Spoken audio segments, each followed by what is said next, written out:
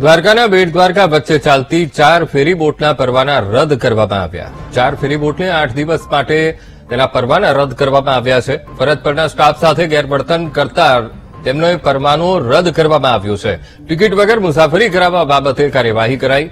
Maritime બોર્ડે ચાર બોટના પરવાના રદ કરવાનો નિર્ણય કર્યો છે.